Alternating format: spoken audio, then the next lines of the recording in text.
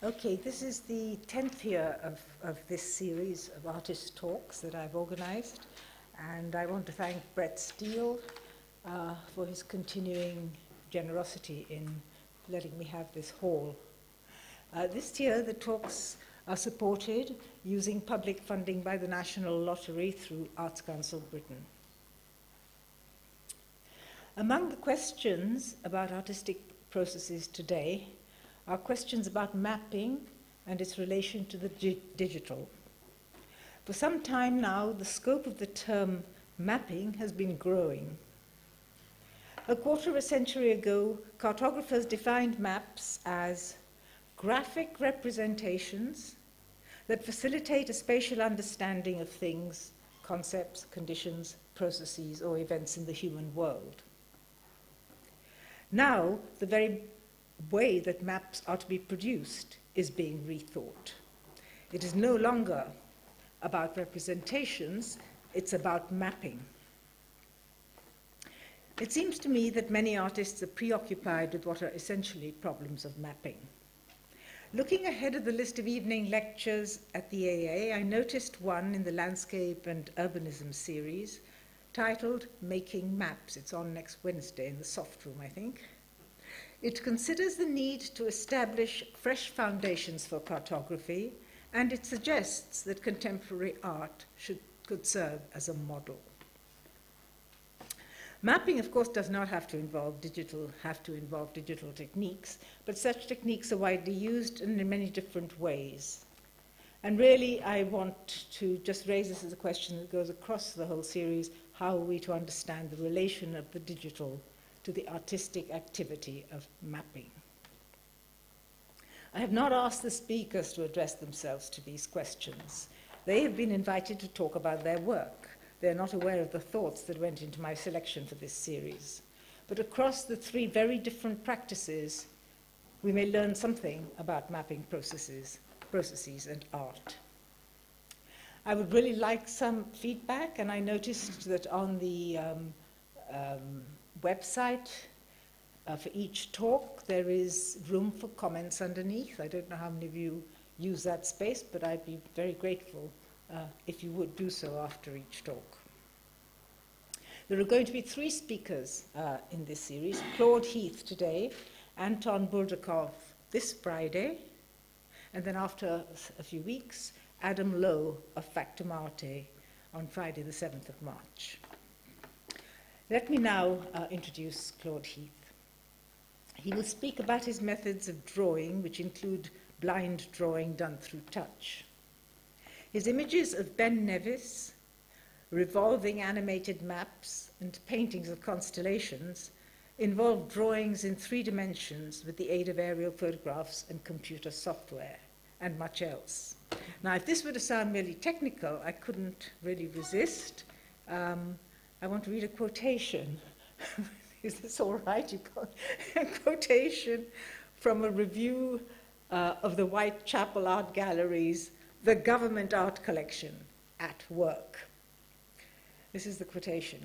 Sir John Sawers, currently head of MI6, previously at the UN, used to invite hostile nations into his office to dwell upon the beautiful cobalt ground of Claude Heath's Ben Nevis on blue, all dots and doodles and just, just shy of figuration, which was extremely helpful during some particularly heated negotiations on Iran, where the painting was used as a kind of soothing timeout for eyes and mind. Agreement, according to Sawers, was reached an hour later.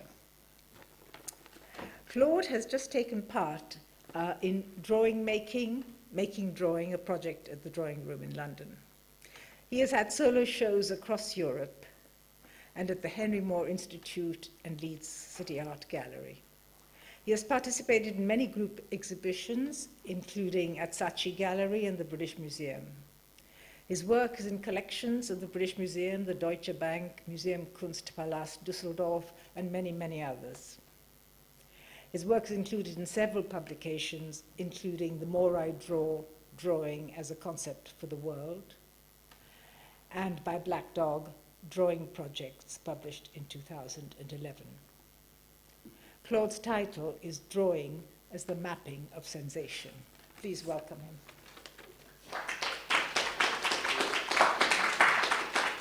Hello, thank you very much. Um, that's a lovely introduction. Um, I think I think I might end up touching on on some of those last introductory points you made about mapping towards the very end when um, I start to talk a bit about some more recent things. If I can get that far, I often put too many slides in. So, but having said that, do interrupt me. I'm happy to be interrupted and ask questions at any point.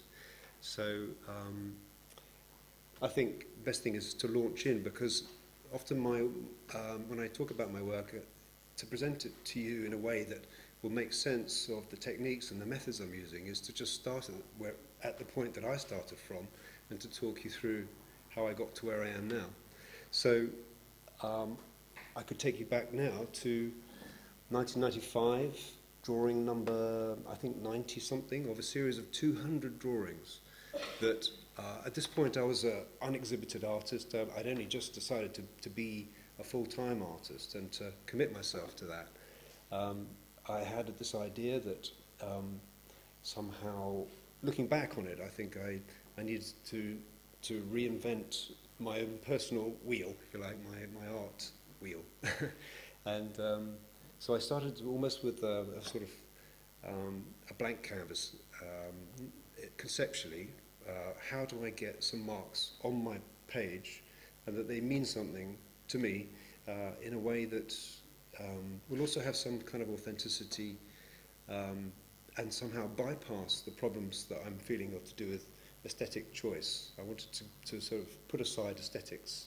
Of course, you never can, but I also wanted to put aside my knowledge about things. So I thought, well, I read that in art schools people do blindfold drawing, so I thought, well, I'll try that.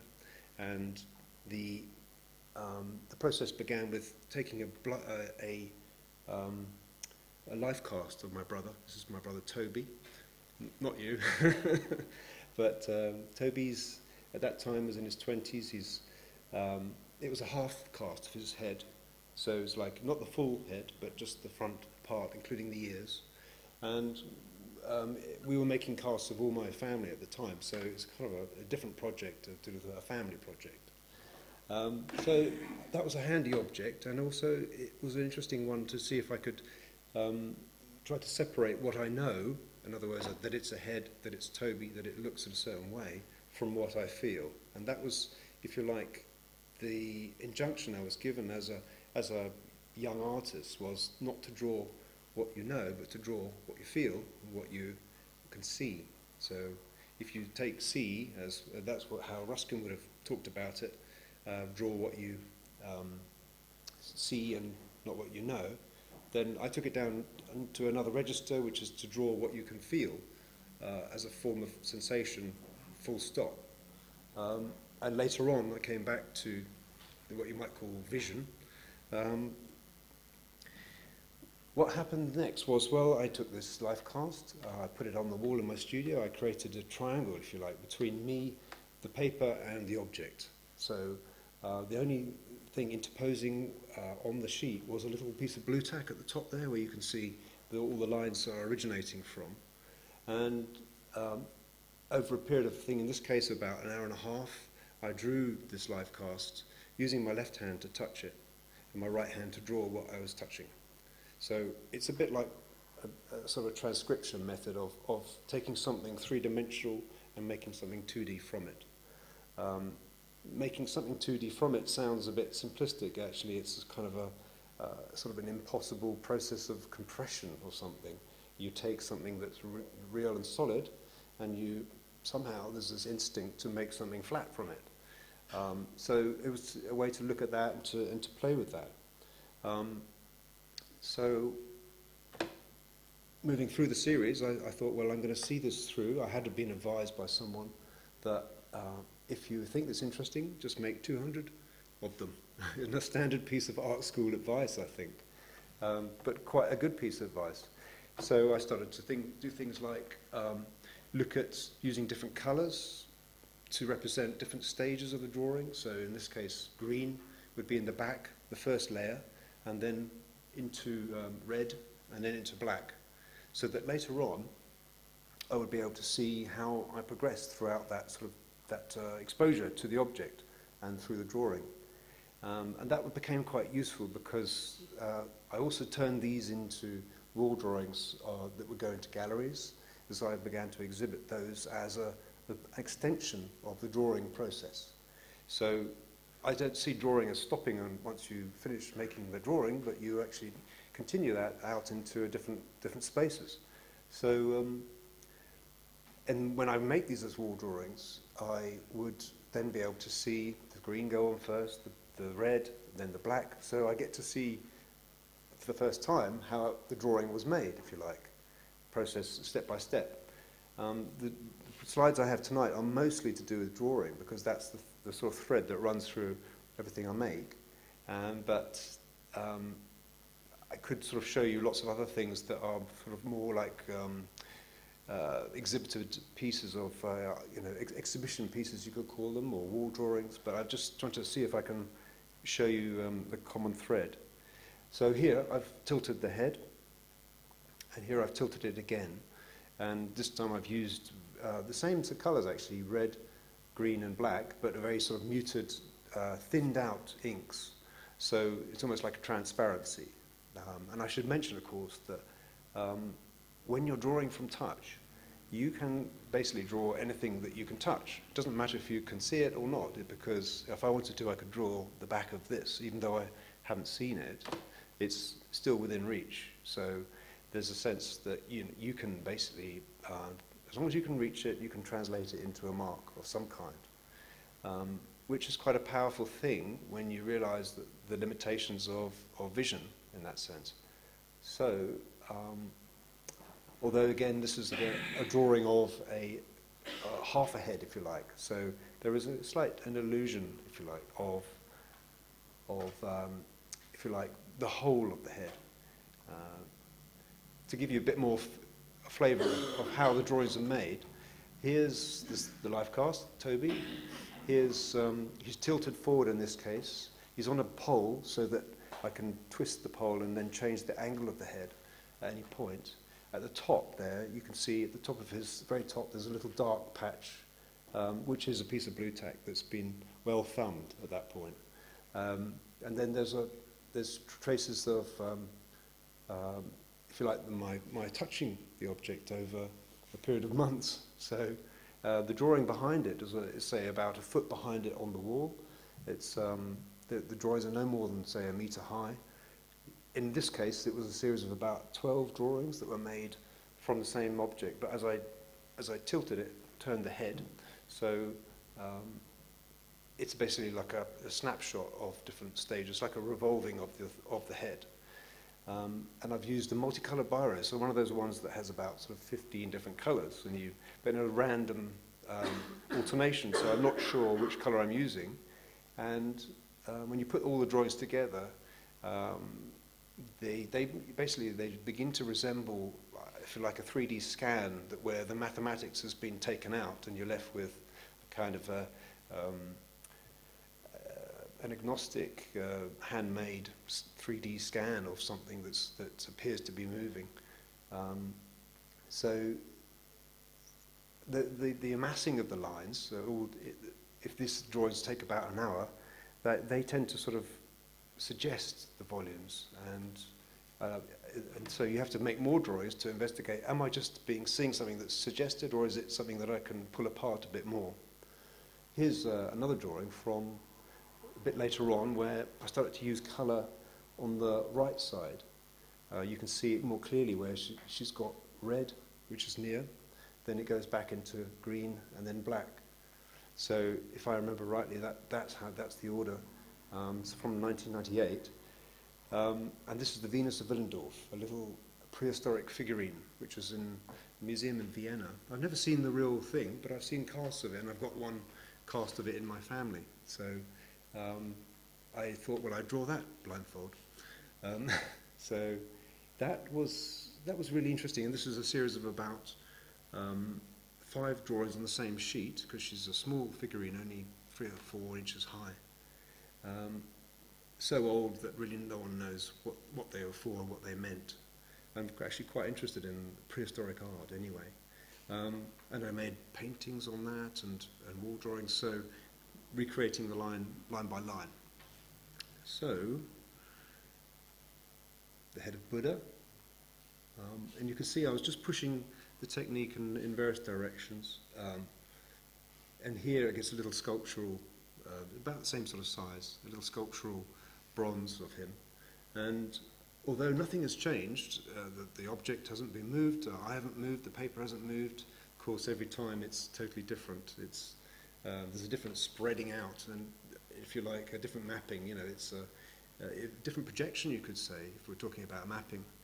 Um, because say the one second on the left is definitely spreading in a different direction to the one in, on next to it on the other on the right side.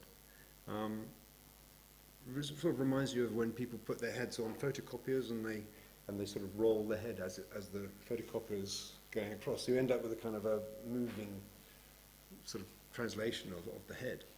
But anyway, um, this is this sort of series of works prompted some curators at, at Henry Moore Institute to say, okay, well let's do an experiment on you. Let's let's release you on our collection of sculptures up in Leeds, and uh, we'll put you in a basement. It was an audio-visual basement, um, so there was no light, uh, and we had, um, I think, about five sculptures brought into me that I could touch over a period of about two weeks.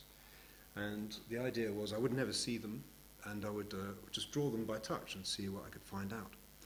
So it's, it's a kind of exercise in remote sensing, I thought, at the time. If it's a bit like a satellite. I, I was a satellite that was exposed to these uh, objects, and I was going to see what images they were going to beam back to me. So this was one of the objects. It was clearly a hand, but it turned out to be Epstein's own hand, uh, a sculpture, not a cast, but a sculpture of it.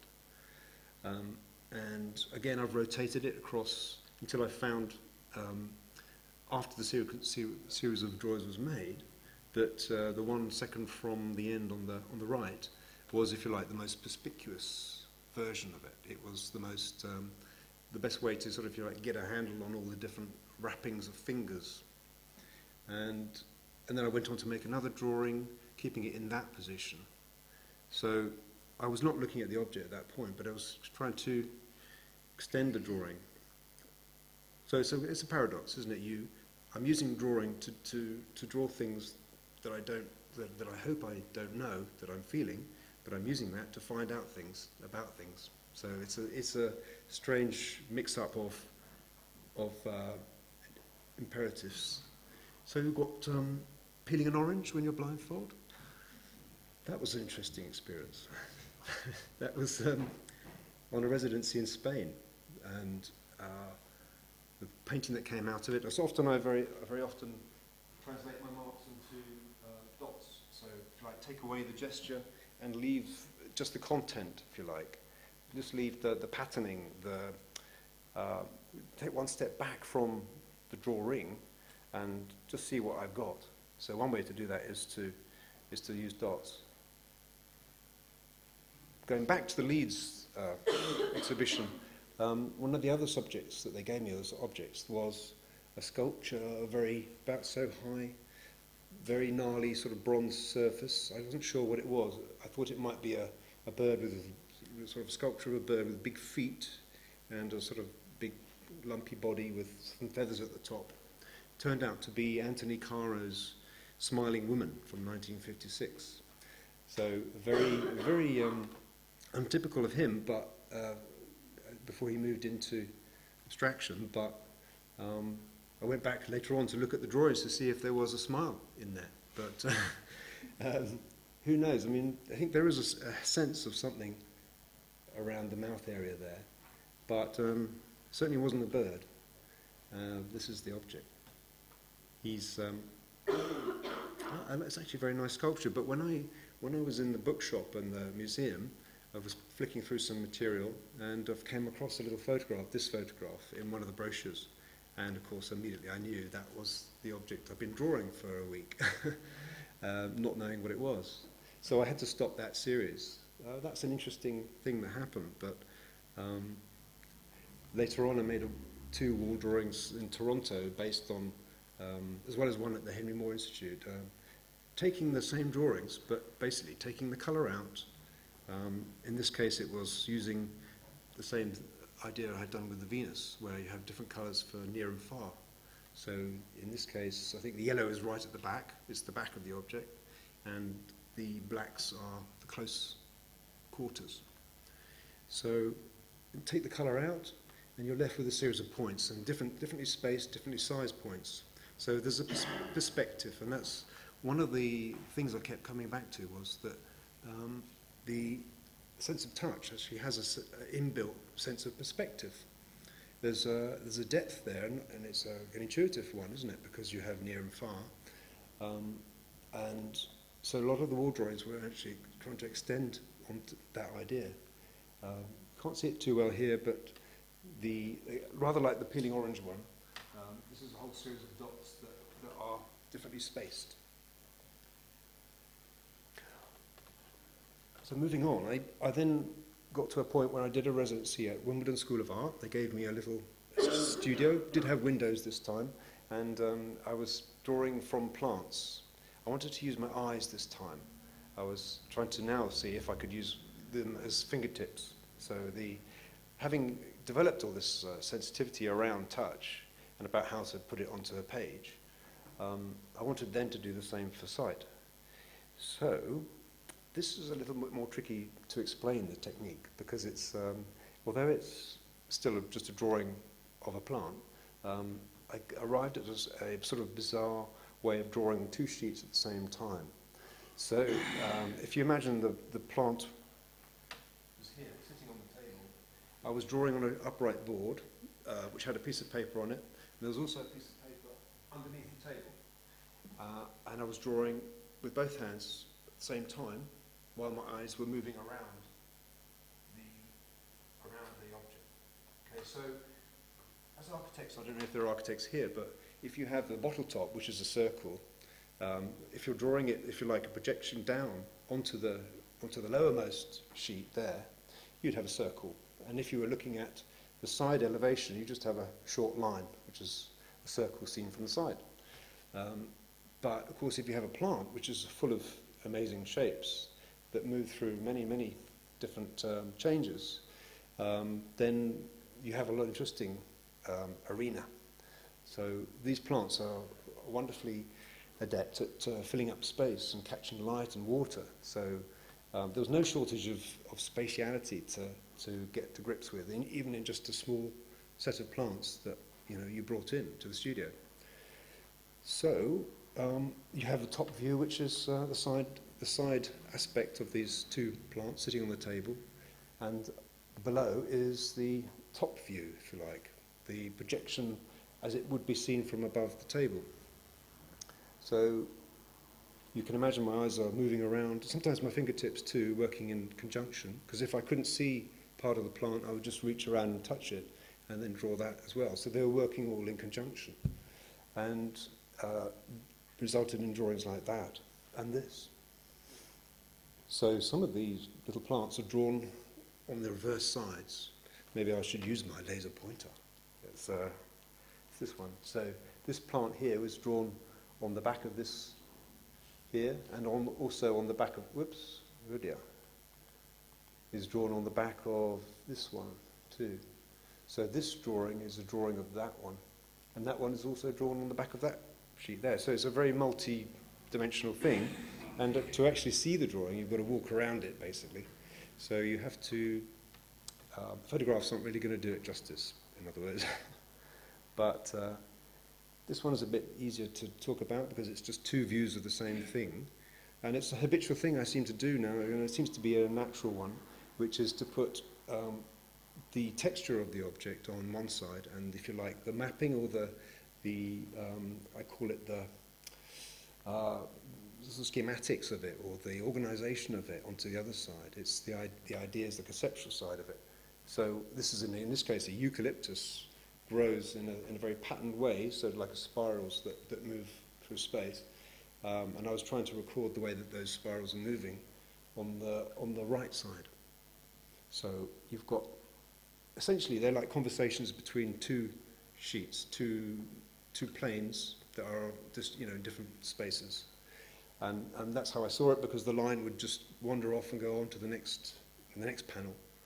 So I don't know if it's possible to see it here, but maybe you can see that some of the lines go off to the side and uh, go on journeys on to other drawings.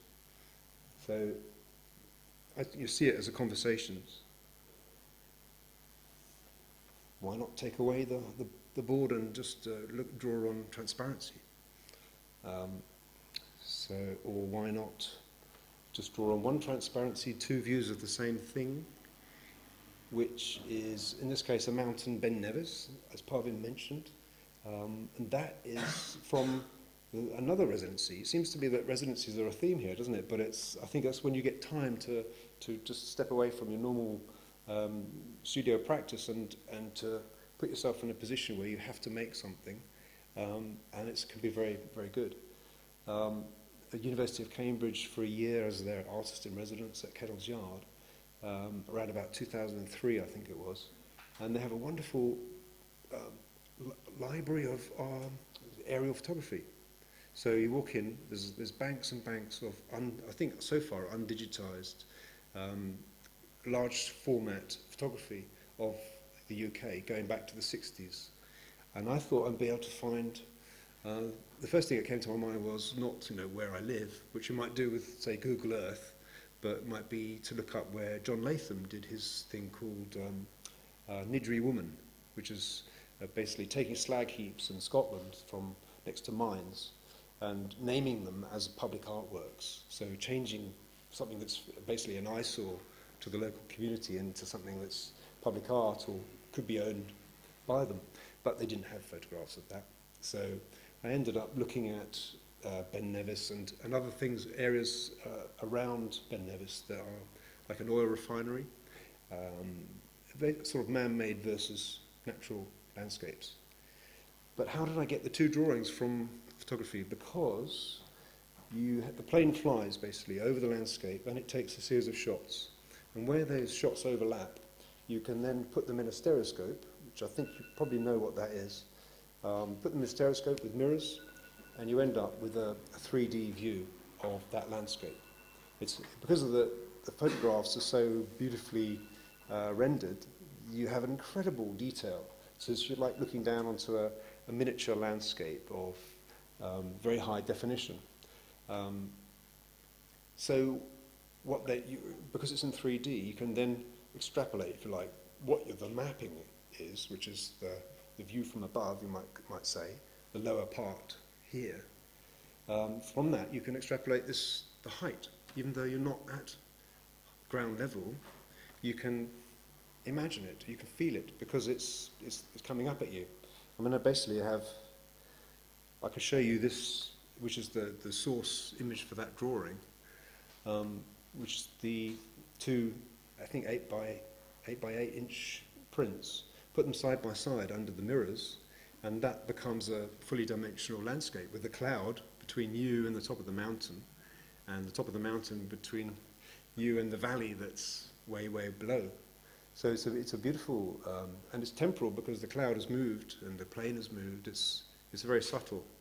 If you, if you reverse the images, put them the other way around than they're supposed to be, uh, as if the plane was flying backwards, you get a negative landscape. So you get uh, you get the valley that coming up and the top of the mountain zooming down. So it's a, a very starts you to think about vision, um, and get starts you to make more questions about um, what is a landscape and how do we look at it. Um, this is how I look at these drawings. I put them in these boxes and hang them on the wall, so you can hang them in any orientation you like, or you can put them next to each other or just have them on their own. This is the oil refinery I think I mentioned. Ben Nevis in another view. Fun to use colour like I've done with the other things uh, that we talked about, the, the, the um, uh, Venus and other things. Using colour to just separate out and to organise your sensations, if you like. Um, a bit like, I suppose you think you probably know that quote from Cezanne, where he just, uh, he just asks that art organises our sensations for us. Um, So we have a mess of things that happen to us, and art helps us to put it in order.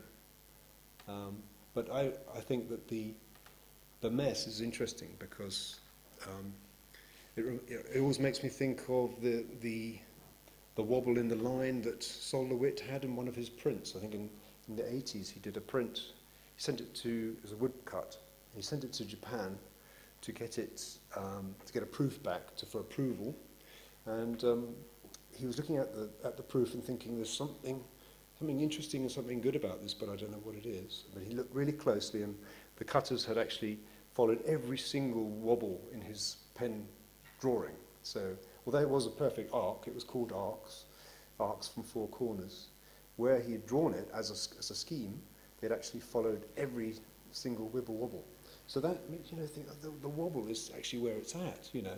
And he looked at it and and um, decided that that was fine. That was still within his concept, and he was going to keep that.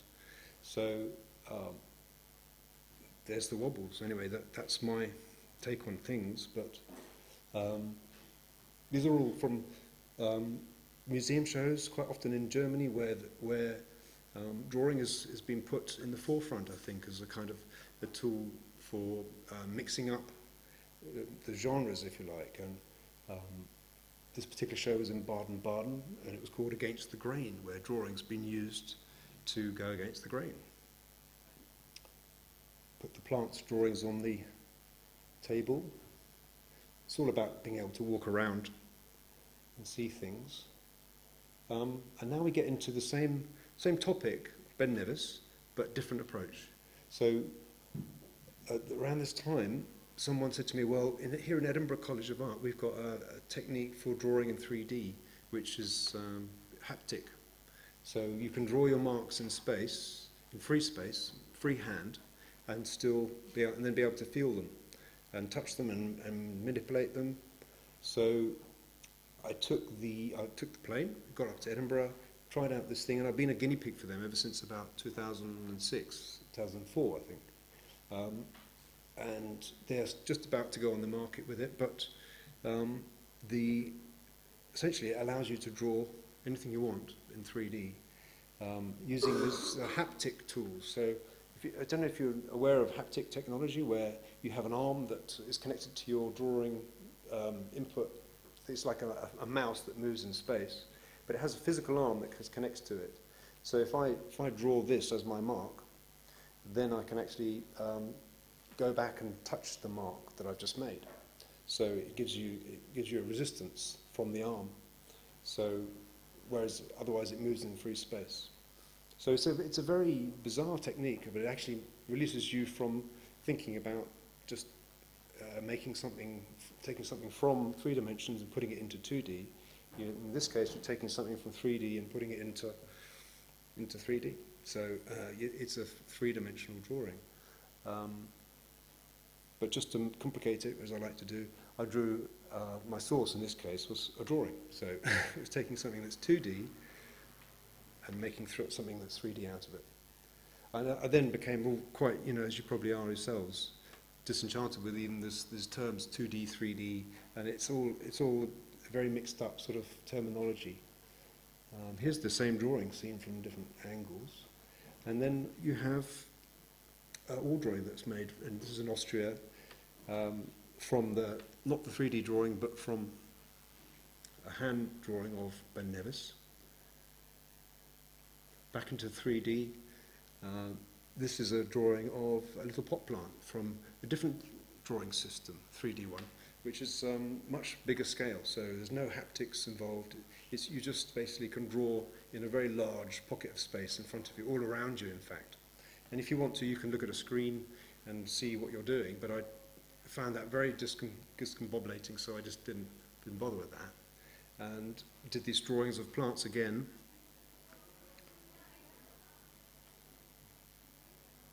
Turned it into a wall drawing. This is a little plant from, I think it's, um, um, I can't remember the Latin name for it now, but, but basically it's, it's not just the plant, it's the space around it that I'm drawing.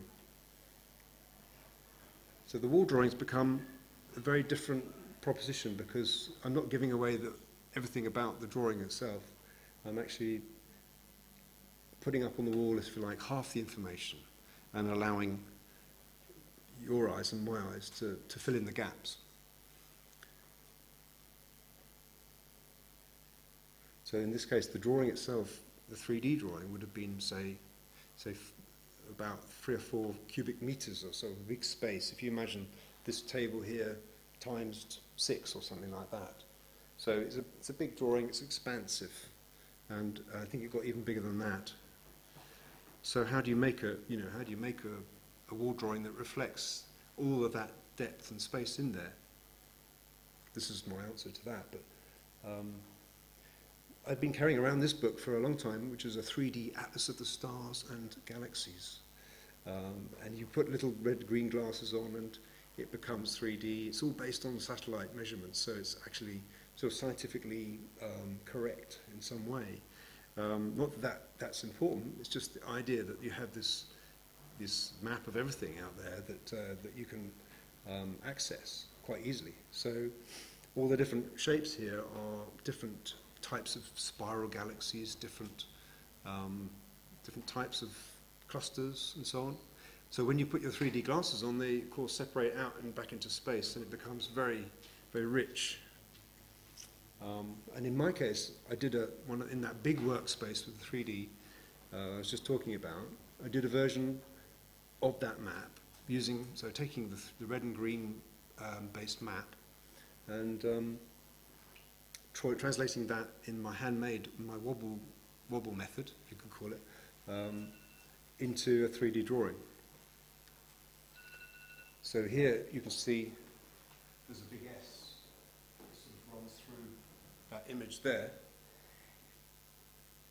which is somewhere in there. Um, I couldn't tell you where. And then you go into the gallery. In this case, it's in, in a place called Lokaal 01, which is in, in um, Holland. It um, doesn't exist anymore, I don't think. And then you sit in the gallery and you can appreciate those two wall drawings as, as a stereoscopic experience. So in the middle of the space is a little stool where you can perch and you look through the stereoscope, which is two mirrors basically, um, pointing at each wall, and the two wall drawings become 3D. And that, that leaves a, very bizarre um, effect because you, um, apart from it being 3D and, and you know it's not, um, when people walk into the space and walk around, uh, they're in 2D and the, and the work is in 3D. So, um, because you're only seeing them in one eye, if that makes sense. But you're seeing the work in, with two. Um, and I've made another stereoscopic thing, which, which is a forward-facing stereoscope, where um, if you're looking at the work and seeing that in 3D, and you'll see the same person walk past the work and then walk past again. So you see the, it's very, very bizarre. But uh, it's very interesting, and people um, respond to it very strongly. Um, not least because it changes the space that you're sitting in, but without needing to be plugged in, without needing to be, it's not, it's not electronic, it's, it's physical in a sense, it's on the wall. So actually these, that mark there, the S shape, will then, when you're looking through those mirrors, become right up, you know, close to you, and the other marks will be receding way back.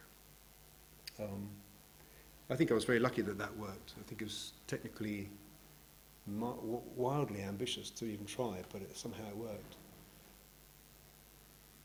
So I also do works on paper just to kind of play around with the drawings because um, when you have a 3D drawing in, the, in your computer, you can't really, you know, access it unless it's in a physical form.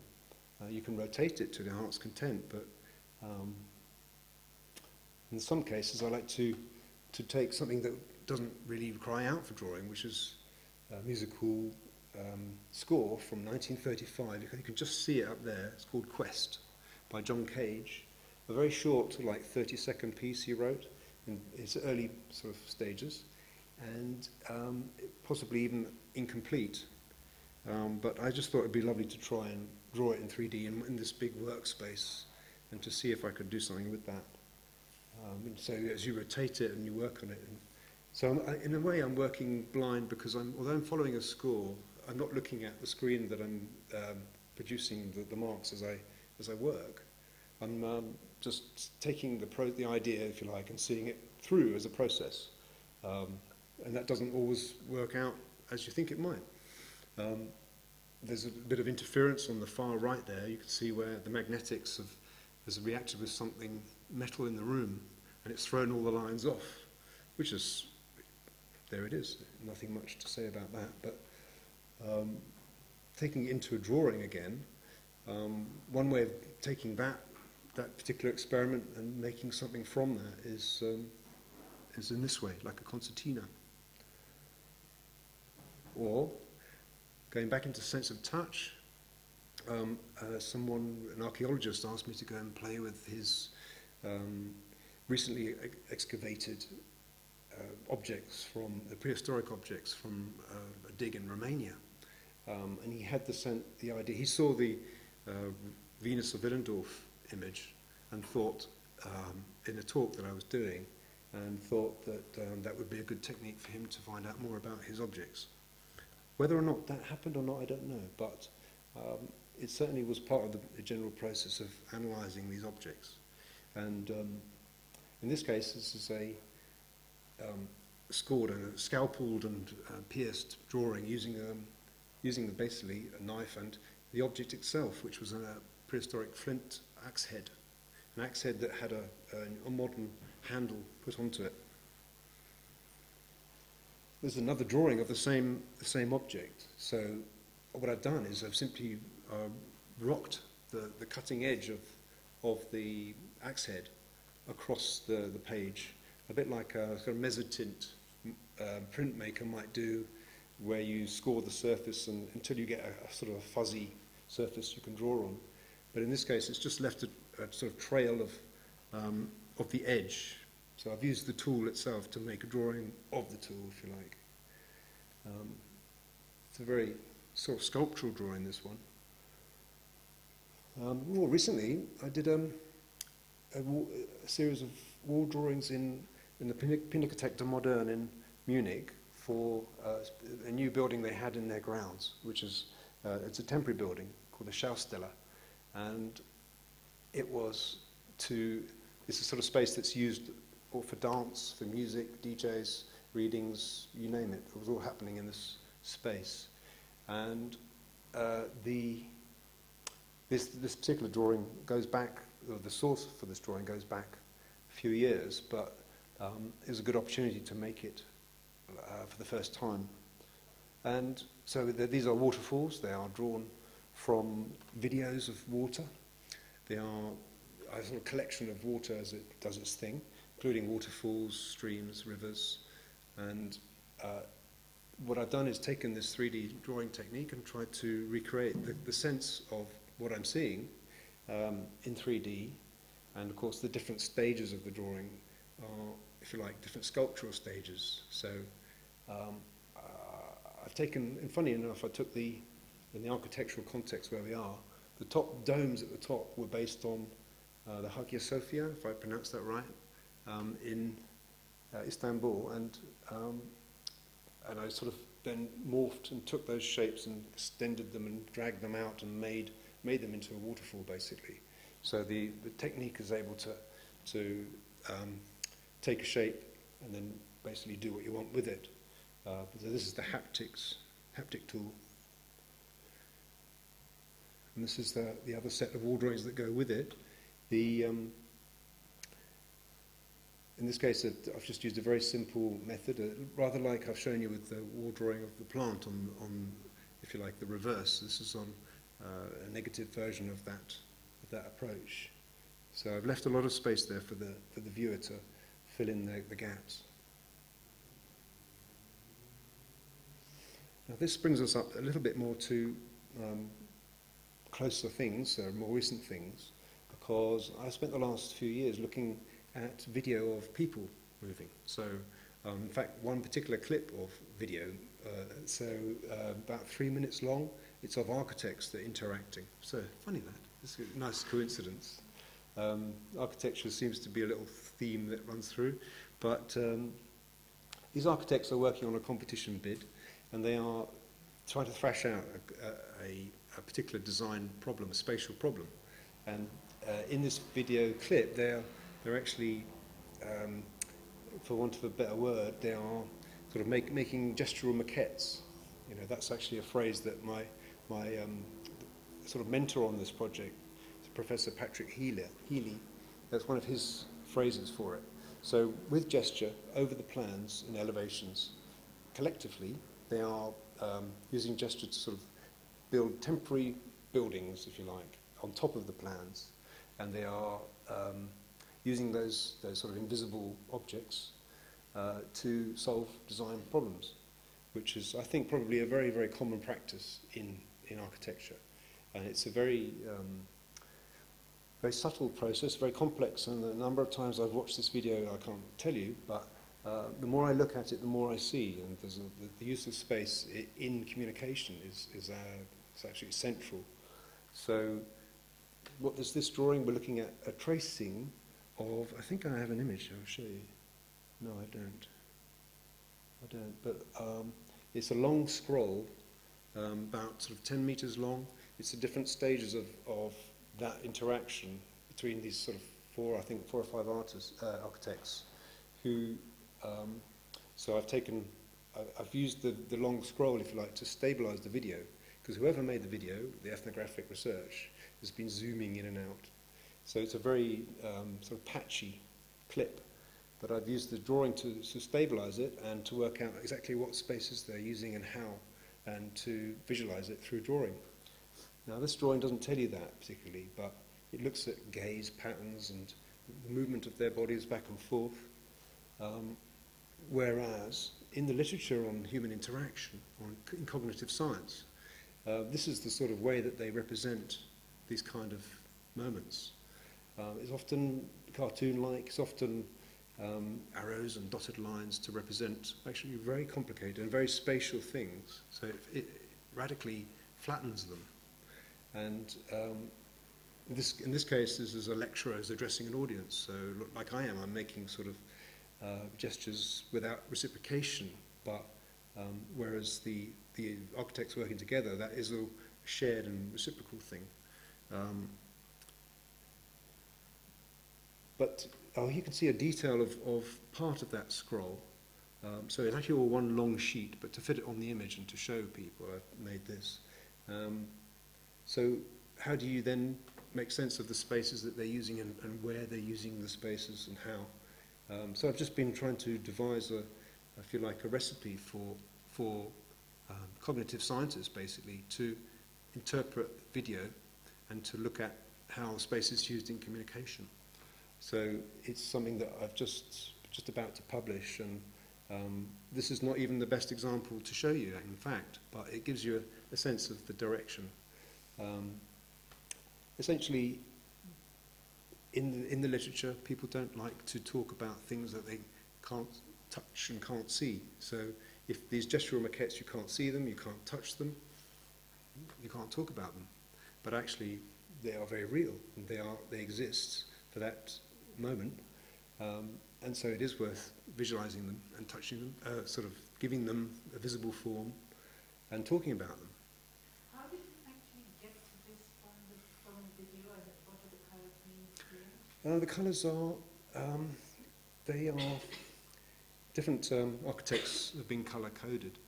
So the, the red guy uh, is, uh, he's the one, so he's the junior architect. He's, um, green guy is the, the lead architect who's actually running the meeting.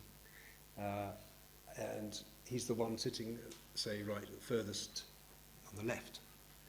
Um, next to him is red, and basically red is, is taking the, the design problem off the sheet and lifting it right up into space. And you can see on that point there, he's drawn a little space and talked about a window up and up and above the table. So he's, he's actually activating the, the space above the table. Um, and then other people later on take that and do other things with it. They reactivate it, play with it, and edit it in a sort of communication way. I'm not saying that this is um, so art. What is the shape? This is the, the, shape, uh, the, the, yellow, the, yellow. I think, is really just my way of trying to show the, the, sh- the bits of space that are actually being shared, that actually are being manipulated as a group. So it's um, the yellow don't read anything into the colours. It's just um, a, um, if you like, um, it's a way to to make these things, invisible things, visible, but without. Is that, is that one of them, most of them are just being? Yeah, yeah. But also, it's it's also the contribution, the, the spoken contribution at that time, plus the gesture, makes uh, it makes um, something real. So it's one thing if you're just waving your arms in the air, but if you're actually talking about something and um, articulating it so that our people can do something with it, then it becomes something shared. Uh, especially if other than people then take it up and play with it, which is what happens in this case. Um, so it's a very difficult thing, and what I've tried to do is get away from representing the gestural maquette as if it was a little architectural maquette sitting on the table, in, but only in a ghostly form. I'm actually not looking at that, I'm looking at the space, just the space, because that's the bit that's being used. Um, and when you talk about sort of qualitative space, you can't visualize it, you never will be able to visualize it as such, but you can point towards it and, and say there's something happening here, something really interesting. And there's a lot of resistance to doing that because you, it's not physically tangible. Um, so the, the result of all this work uh, and sort of theorizing about it is that you can then uh, say, well, it is possible to discuss it at least. So it's a way to, to feed drawing into the, into the research community, essentially. And that's pretty much where I'd like to stop because um, although it's recent and it's not even the most pertinent thing to show you from that series, it's just because it's still in progress. Um, I thought it might be worth showing it because, not because there might be architects here, but just because um, it shows you the, the full circle starting from blindfold drawings in 95. So um, going through to working on long scrolls. So here's some books uh, that I'm, I think one at the top that you mentioned is this lovely show in Germany, um, The More I Draw, and drawing projects you also mentioned as well. I don't want to promote myself or anything. This is just, these are not my uh, monographs. They're just really interesting books about drawing. So, um, what is drawing? One of whom, Rae Smith, was a set designer, scenographer. And that's the one against the grain, uh, Gegen den Strich, which is new forms of drawing, Gustav Baden-Baden. Um, and so I think there are always a continuing series of, draw, of exhibitions that throughout Europe and beyond that, that take uh, the plasticity of drawing and do interesting things with that. So I think that's my last slide. Okay, you'll take questions, presume. Of course, yes. There's a mic here, if anybody wants to start.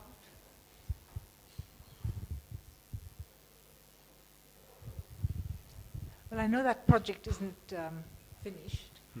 but um, in what form, what visual form do, do, does it appear? Is it going to be the scroll form itself or some transformation of, of that? Um, the final, the final form it might take will probably be, well, I have sketchbooks that are um, sort of packed with studies of those spaces, but they are kind of, um, they, they can either be integrated into an animation or they might just become a large book. So if you take all of the key uh, frames from that three-minute series Mm. and you print them up, uh, you get a pile of paper about that big, that thick. So I can see how the drawing gets into that complexity and starts to pull it apart. It might be a book, who knows. Somebody Oh, I've got a microphone coming. Sorry.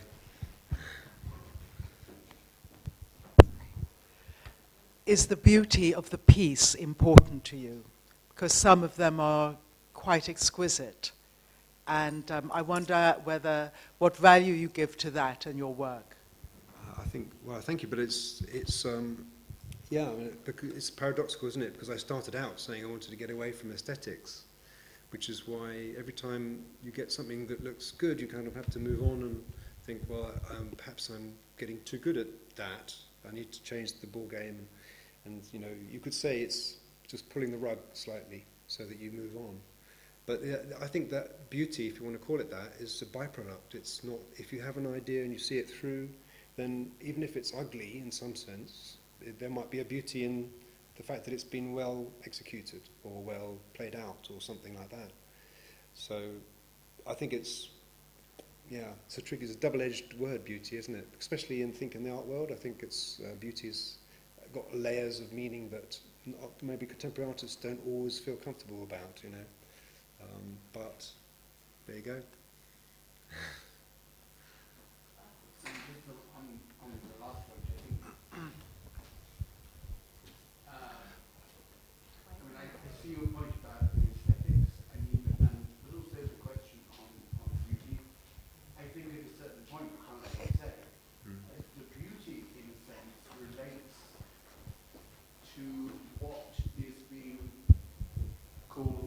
what is being brought into being mm-hmm.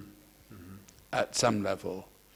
And therefore, you know, it's, it's still kind of like unresolved that, it's, that, that we respond uh, by finding it beautiful um, is, in a sense, related to the fact that we don't, it's not an object which we know and know how to judge and find it beautiful. Mm. Yeah. It's rather that somehow beauty comes towards you out of it, which is a kind of different way of running the question of the beautiful. Mm. I must say, I, I, found the whole presentation uh, absolutely kind of gripping, but also extremely difficult to uh, rehearse in one's mind as to you know, what is it mm. that I'm looking at. It seemed to me intuitively that one way of putting it is to say that you take drawing, and you could argue it's always been like this, but it you take drawing away from its conventional function of representing into drawing as fabrication mm. in some sense that that that you're that it is abandoning the field of representation in favor of fabricating now and I think that's true across a range of, uh, I know what to call them, media, hmm. in a sense, which are groping um, with difficulty but with surprise as to what happens when they stop being representational and become kind of fabrication. Right. As such, the, the, the very proposition would have really kind of enormous kind of consequences for how one even began to try to define uh, the field of artistic practice. Um, now, within that, what, what seems to me so extraordinarily telling is that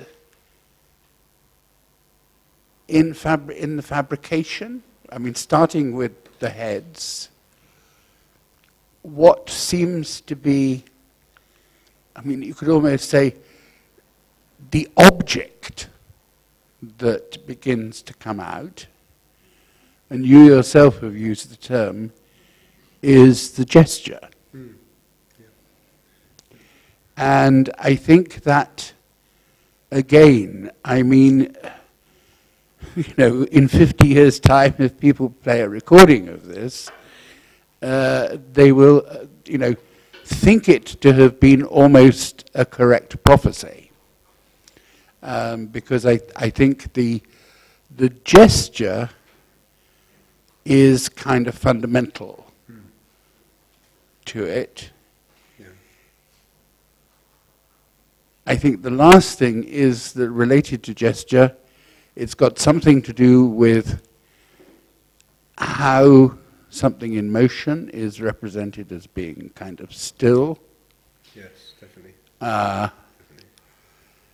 and that's to do with the fabrication. So, what, what this belongs to, despite its static character, is actually to a field of animated fabrication Right. as opposed to static representation. Okay. I can, I can, I can see that. That's a flavour that rings bells for me, and you know, Well, I'm, I'm pleased that it does because uh, I think otherwise what I'm saying, you know, could well be dismissed as being a bit loony. Um, not at all, not at all, not at all. I think. Um, I, I'm not sure what I want to say. Uh, comes off the back of the beautiful, but it's just to say um, it's your work and it's very recognizably your work. And that isn't to some extent surprising no. uh, across the different things that you actually do in the different uh, bits of Different t- technologies. that it's things, you Yeah. seems well that's why it's art Yeah. Interesting, yeah. Certainly, when I went to, to start to look at the video, that because that was a, basically a PhD in uh, computer science and electronic engineering. Bit of a mouthful, I know.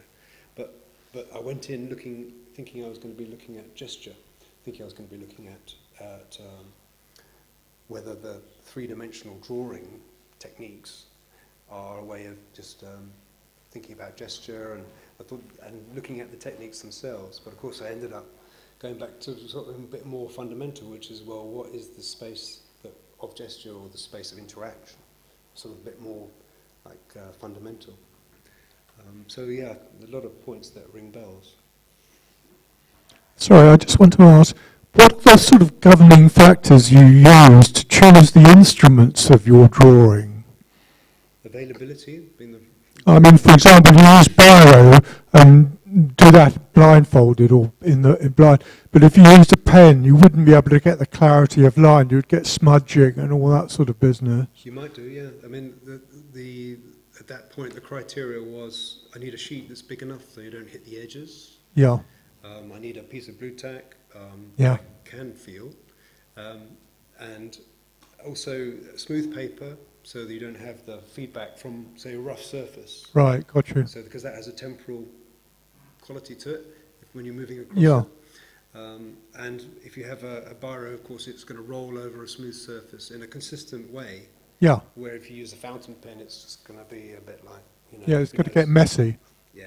Yeah, Which is right. fine. I, mess is fine, but um, in a in a conscious way um, before you get to it, if you can plan for it and. um, Mm. I mean, how ritualistic do you get about it before you actually start a work? On a scale of one to ten, I don't know. I mean, I think like lots of people, I just sit down and, and I have to design the process before I can make anything. Yeah. You know. It's just that some people get very fussy about the biro they use and all that sort of business. No, No. I did. I made some set of my own pens a while ago, which Yeah. has got. Um, they're like um, artist pigment in it rather than Yeah. rather than just the stuff because this this stuff will all fade, you know. Yes, exactly. So Yeah. and I'm just using them until they conk out, really. Right. So, Thank you.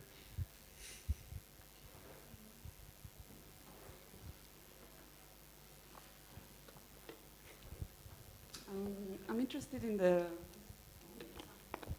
in the issue of movement um, and uh, like your first the drawings you showed at the beginning where maybe the object of study was a static object and you moved around and you felt around. Yeah. and in here you chose uh, an object that moves through time and in space Yes. um, like, mm, what would be other, or are you interested in other forms of movement, and what would this be, and also how would you deal with it? Because he- here it seems like uh, time is segmented into kind of the same, uh, I don't know, the how is it called, like uh, stills, films, film stills. Like Oh, like, um, yeah, like key points or something, yeah. Yeah, Yeah. Uh, and then you were saying that uh, the final object would be maybe like a book. So uh, I, Yes. yeah, what what would be other moving? Are there any other moving uh, objects of study, and like how would you deal with the final, Yeah. producing the final uh, object? Yeah, um, well, like the water would be another example. The waterfalls that I showed. So that's uh, inherently uh, moving. Um, um, well, the wall drawings was one way a- around that, was to show not just one finished wall drawing, or, but uh, how it sort of uh, evolved. So you, the, the different stages of that same drawing. So, and that, in a sense, when you put them all together, rather like the blindfold drawings, when you have a series of them, put them all together, um, you know, it's the human eye kind of animates it for you. You don't have to have it actually moving, but it, the, the human brain and the human eye does the rest for you, you know. Um, so, and the, the stereoscopic stuff um, is another way of bringing movement maybe into that area. But um, the thing that that taught me, that whole thing was that, you know, you don't necessarily need to have actual stereoscopic depth to be able to appreciate space so that pattern can have the same effect. Um, you know, the gestalt of something. It could be spatial. Um, so there's no real one answer to that question, I'm afraid. But you, you could draw people for the rest of one's life, couldn't you? um, but uh, there, are, of course, there, uh, you know, as people were saying, there are lots of different choices of medium. But I don't, don't know if I would bring, um, I would bring my own sensibility to that. But another thing that is also really rich at the moment is to, to work in collaboration. So it's not just me, but other people, and they would have their own ideas about that. So, um, you know, like if if some of these, this is a standard form of illustration, like a comic, really, isn't it? Except it's arranged vertically here, which is not how it was in the original. And it's um, it's my redrawing of of, of a rather bad, uh, photoshopped uh, thing in an article. So I'm just trying to. So I've been studying thing, drawings like this and trying to work out what's really going on. Um, but that's enough for some people. Um, yeah. Um, I suppose I was interested in the idea of gesture in relation to the work, because I suppose often when people talk about gesture in art, it's seen as a sort of autographic, um, subjective thing, and I suppose it feels like there's a kind of diagrammatic approach in the work to some extent in some pieces, and also through the kind of repetition of something, whether it's a mark that's m- made repeatedly or a draw or several drawings in sequence. This it, there feels like through that repetition maybe there's a, an impulse to distance yourself from a sort of idiosyncrasy or a kind of autographic mark perhaps. I don't know. I was interested to know how you felt about the idea of the work being subjective or objective Yeah. and whether there was a yeah whether there was a desire for some sort of objectivity and whether also well what it meant in what you thought it meant Mm. to be an artist now making very schematic work Mm. and making work that well, maybe you're on maybe on some level you're almost trying to sometimes mechanize it or turn yourself into something like a machine Hmm. I wouldn't say that because I don't think you can ever eradicate the interesting bits of yourself that will always creep out in some interesting way onto the page. And I mean, the, the disadvantage of a slideshow, of course, is it does flatten everything. If I had the drawings here, then you could come and look and you could, you know, see the, the, the person in it. But you, you're right, there is a, a sort of a, uh, it's almost like a dichotomy, isn't it? So on one hand, you want you want the, the gesture to be recorded in some way, the, the movement. On the other hand, you want to study it and understand it and maybe not even so much schematize it, but um, um, present it in a way back to yourself so it's fresh, you know, and you have a, uh, a new angle on it. It's the point of making wall drawings. So you change the scale, you, you change the parameters, and, um, and then it starts afresh. Um, but um, Yeah, it's just I, I don't understand. My, my training was in philosophy, so I, I have that kind of that side to me anyway. But the reason I started doing blindfold stuff was to get away from thinking. You know, so I just didn't want to think too much. I didn't want to have to make, um, you know, uh, I didn't want to have to read any more books. I didn't have to. I just wanted to use my hands. So, and I wanted to draw things. I mean, I'm not sure philosophy is quite so easily No. sloughed off. I mean, because you know, it seems to me what partly what you do, um, in a funny way, is to make philosophy more tactile.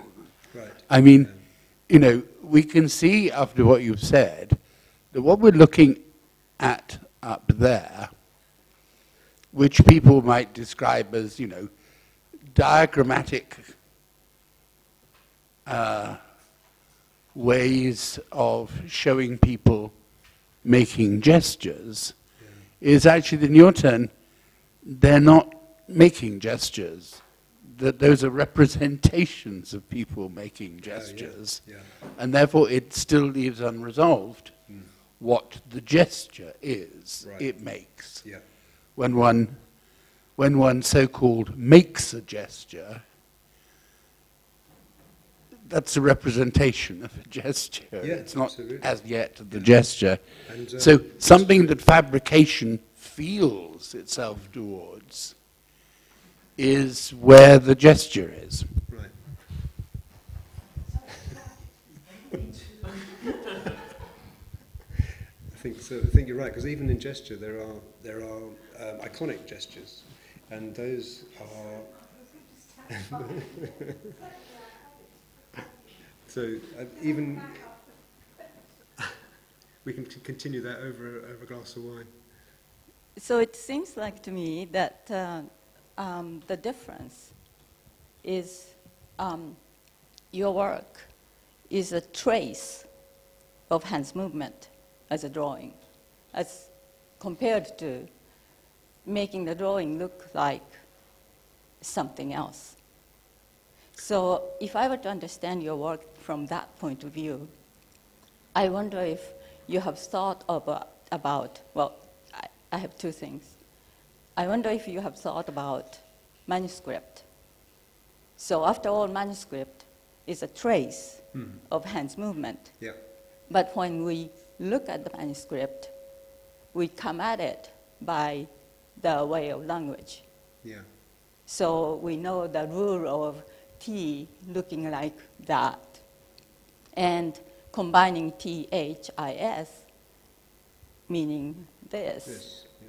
But after all, that is a trace of a movement of the hand.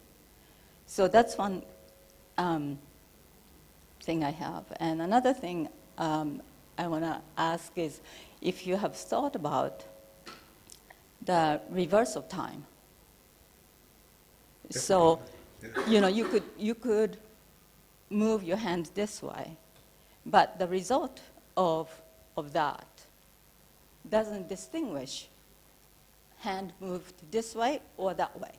Yeah, that's some of the some of the drawings I have, which I'm not showing you, but um, they are um, they're treating they're taking uh, the gestures, if you like, and um, treating them as spaces that have been filled rather than as trajectories that are going one way. So if I was to make a gesture like that, most often that would be represented as an arrow doing that with a little arrow head there. But in my case, I just simply join it into one space so it becomes linked back to where it started from. So it's all one line. And um, so times, you can still play with time within that, but um, so it's a bit unfair to show you only half of what I'm working on, but I should just reinforce that these are not, I'm not even sure if they are art, they're just actually warming up um, to take on the idiom of this cognitive scientist that I'm working with and to, to feed it back to them in a way that is using their own language, which is schematic um, and diagrammatic, um, and to feed it back to them in a, in a way that's enriched slightly. So um, that sort of answers your question a bit too. It's like might, this especially might seem schematic because um, the sources that they're based on, the, the, the, um, the type of study that, that they attempt to address is schematic. And that's part of the problem of them. Schematics are very dangerous, I think. But if you were to do an animation, like you said, you would be then producing Yeah. spaces and so on, which came out of Yeah, this, this analysis. absolutely, yeah. Completely. And um, the, they, these can be not just my uh, interpretations, but other people's too. So it can be a, um, the, when, you when you are looking at interaction, for example, the more opinions you have about what's going on, uh, like in cognitive science, they'll look at the video, it won't be just one person's interpretation, there'll be other coders who'll come along and take the coding and see if they can extract the same information from the video as the original researcher. So it might be that its collaboration is another way. But I think, I mean, on my understanding, this is animation. And in that sense, we can see a certain problematic relationship between what would traditionally be called movement and animation, Right. where animation is the animation of, to put it crudely, gesture. Movement um, would be something different. And here perhaps is where the aesthetic comes in. I mean, I can't think of it except in a very simple way that art historians make an enormous amount, far too much, I think, uh, about the Muybridge photographs. And they say, you see, it turned out all along that horses, uh, when moving, don't have any of their feet on the ground. Uh, that may be the case, but it strikes me it's not the truth for, you know, in a sense, the purposes of animation Hmm. are kind of different. Yeah. Uh, and the one's not reducible to the other, and one shouldn't be able to say, you know, oh, isn't it good that what we've been doing in art turns out to have been scientifically correct? I don't think that's neither good nor bad. Yeah. Um, actually, we should look more at the history of animation. I mean, I mean, including Daffy Duck and Tom and Jerry, Yeah. because it's there that you find a primitivism yeah. of the question of yeah. gesture. Yeah, and also you could you could look further back and to like really early art, prehistoric art. Yeah. Think of talking about movement and uh, caves in Lascaux and how they used the, the shapes of the wall to to paint on in a way that suggests that some, an animal was coming towards you, for instance, or going around.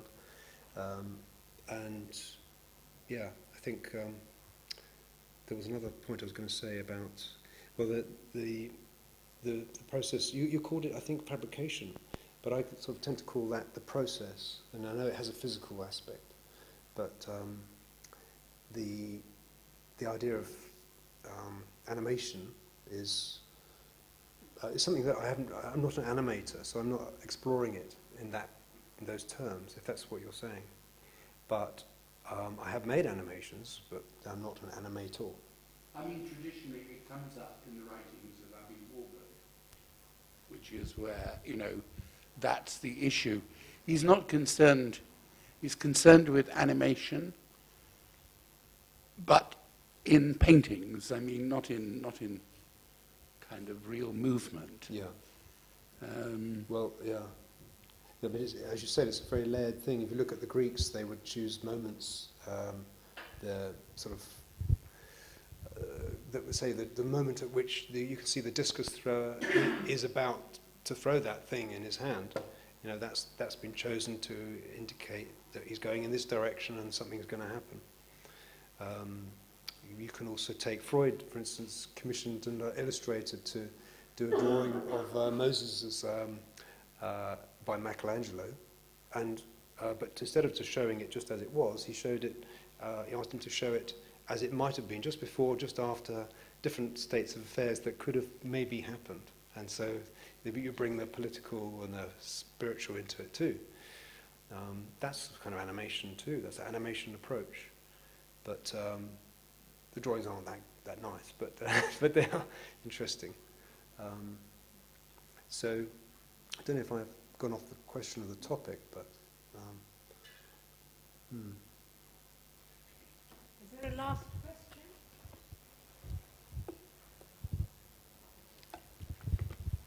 Well, that was amazingly interesting Thank you. and very beautiful.